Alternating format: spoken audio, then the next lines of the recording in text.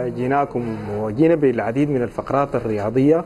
وفقرتنا دي فقرة مميزة جدا للناس اللي بيحبوا آه، ال- الهواية بتاعت الصيد. في ناس بتشيل ال- مثلا آه، أداة بتاعت صيد خراطيش أو غير من من ال- الحاجات. وفي برضه السفروك خراطيش للصيد؟ آه، بندقية خرطوش اسمها. آه أوكي. في برضه السفروك دخلنا في الجو ده؟ أيوه في الجو. بعد ذاك في في آلة اسمها السفروك أو أداة خشبية بتكون آه. معقوفة من تحت بيستعملوها هنا في كردفان لهم التحية. يوم التحية. علينا فقرتنا في القنص عندنا هواية ممتعة جدا وغريبة جدا أكيد. وعندها أوقات مختلفة اللي هي هواية الصيد باستخدام الكلاب المدربة على الصيد الكلاب السلوقية أو كلاب القنص مع واحد من الهاوين وهو سكرتير الاتحاد العام لهذا أو لهذه الهواية الأستاذ بدر الدين حبابك عشر بناتنا بدر الدين عباس مساء الخير عليك. تسلم يا أستاذنا يا أخي الله يعطيك العافية. ويا أخي يبدو إنه المعلومة حتكون التوصيل المعلومة لك حيكون سهل. لأنه أنا هاو يعني اعتبرني دفعتك حتكون انت عارف الحاصل لنا نعم. شنو؟ فنحن والله حقيقة هي طبعا زي ما ذكرت هي هواية. لكن طبعا في العالم كله لو بتشوف هي تحولت لرياضة. رياضة ومونديالات وبقت فيها فعاليات وغير كده هي الحاجة دي أنا ذكرتها في حلقة فاتت إنه دي بدت عندنا هنا الحاجة دي. صحيح. الفراعنة هم أول من مارس الهواية دي بالكلاب الفرعونية اللي هي الكلاب المحلية بتاعتنا. ذاك تعاقب الزمن. بقت هي متى ما متى ما ذكر القنيص بيذكر العالم العربي لكن هي تاريخيا معلومة كمعلومة تاريخية لا بدت هي عندنا هنا. السودانية، نعم فنحن الحمد لله حصل سوينا له اتحاد القنص السوداني في ولاية الخرطوم هنا بعدد 31 نادي ممتاز. مارسوا الرياضة دي. ما شاء الله.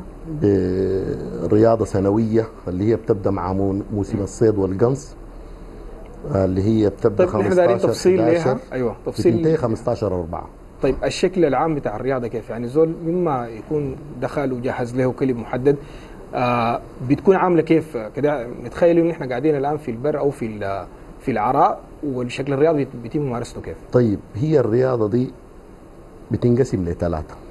يعني إحنا عندنا في الاتحاد بتنقسم منافساتها لثلاثة اللي هي مهدات الكلاب السلوقية على الأرنب البري ودي بتتم في الطبيعة. ممتاز. دي بتتم في الطبيعة في مناطق الصيد ذاتها في زمن معين زي ما ذكرت لك من 15 11 ل 15 4 بعد ذاك بيكون الموسم بتاع تزاوج الحيوان. آه وهي ذات الدنيا بتكون صيفة الكلاب ما بتديك الجري والأرنب ذاتها بتديك جريه بعد ذاك عندنا مهدات الكلاب السلوقيه على الطرايد المعلقة اللي هي بتكون في المضامير. سباق أيوه. في في المضامير اللي هي بتشوفها انت فيها علاق يعني. نعم. في أمريكا عندهم نظام الفار على ال... اللي على السكة ده. دي للكلاب ال- ال greyhound نعم. العرب هنا عندهم العلاقة اللي على العربية. وده نحن اللي بنمارسه.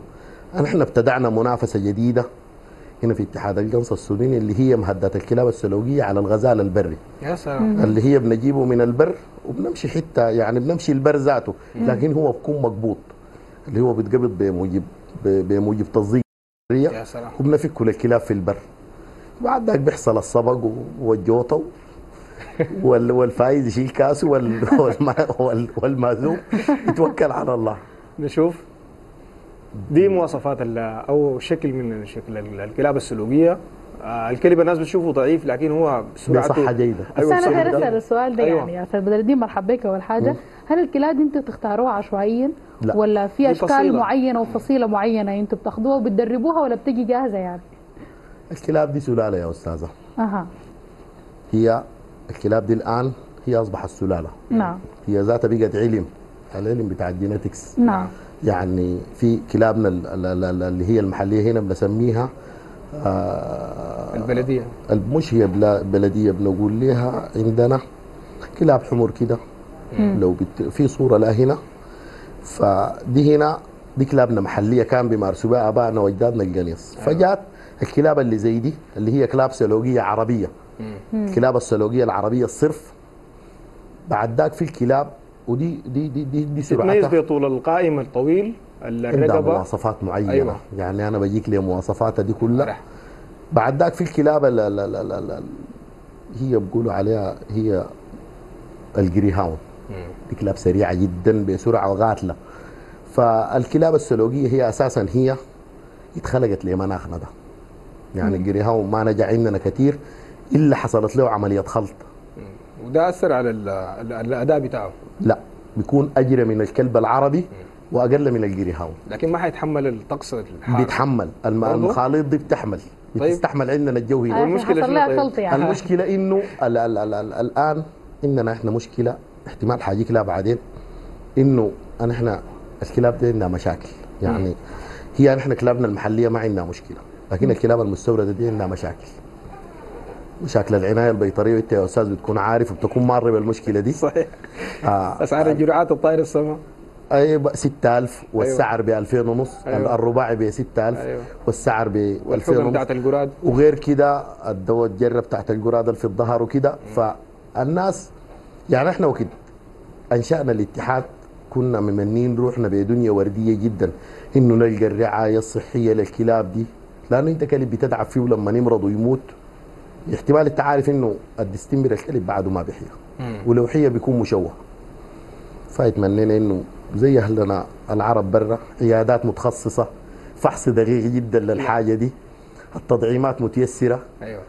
لكن انت لو الليلة دار تربي لك ثلاثة في البيت حيصرف أكثر من ميزانية. مش ميزانية التطعيم براو. هو مشكلة يعني الكلب بيصرف جرعتين. يعني لو تعرف انت تماما انه في 45 يوم وفي 60 يوم يا جرعتين أيوه. ستة ستة. بتاخذ الج- السعر لمرة واحدة. يعني بتبقى ميزانية ومن كتير. ناحية الغذاء هل في غذاء معين مفترض يكون له؟ والله يا أخي الكلاب الجري دي عامة. اعتمادنا نحن في السودان على اللبن. تشرب اللبن لكن بتتعاطى الح... بتتعاطى البروتين ب... ب... ب... في وك... في أوقات يعني. يعني بروتين نباتي ولا حيواني ولا مصنع أو كيميائي؟ بروتين العادي. يعني من اللحم جدات أو كان لحم أحمر لكن بس ما بكون سمين.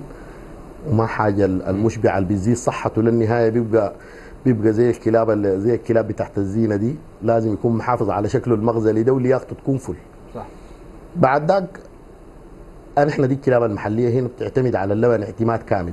لكن المستورد حسب تربيتها له لأنه تربى ببروتين وحاجة زي دي فلازم أنت تواصل له في ستايله ده طيب أنت في بداية حديثك ذكرت إنه عندك 31 آه نادي. إيه، نادي مم. آه مقركم وين؟ والله يا أخي نحن سمعنا كده كده إنه الموضوع ده ما عنده مقر بيواجهه مشاكل كثيره يا دعاء صح؟ أكيد يعني العدد اللي أنت ذكرته عدد ما طيب أنا حاقوم أقول لك حاجة أنا الرافد الرئيسي للمجلس الأعلى للشباب والرياضة في ولاية الخرطوم أنا أكبر اتحاد وبدون. مقر طيب بدون مقر. بدون مقر. طيب الرسالة؟ يعني؟ والله هي لك. الرسالة الرسالة يا أخي نحن نظمنا وسك ف- زي ما بقولوا لا نحن نظمنا. نحن رسالتنا هنا صوتها مختلف. والله يا أخي تصل الرسالة قوية أنا أنا لما فيها صرخة. لما لما تجي تقول إنه مثلا يتوفر لنا دار للاتحاد ده له مدلوله. مم. لأنه من من خلال الدار دي انت بتقدر توصل رسالتك اللي انه من أجل انت انشأت الاتحاد. المحافظة على ارث الجدود نشر الثقافة دي لل- للأجيال اللي موجودة. أكيد. كبح جماح نوع من الترفيه برضه ترفيه.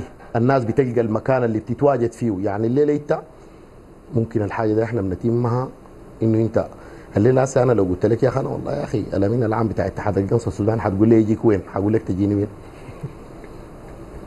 مشكلة؟ صح صح. فنظمنا وفترنا. فنتمنى إنه من هنا والله يا أخي ادينا رسالة قوية. نحن على والله نتمنى. إنه يا أخي عشان ان إحنا نقدر نقوم بدورنا الرسالي في المحافظة على الحياة البرية وتوجيه الجيل الناشئ والمحافظة على رياضة الآباء والأجداد. إنه يا أخي توجد لنا مقر ويتوجد لنا مضمار عشان نمارس في رياضتنا دي.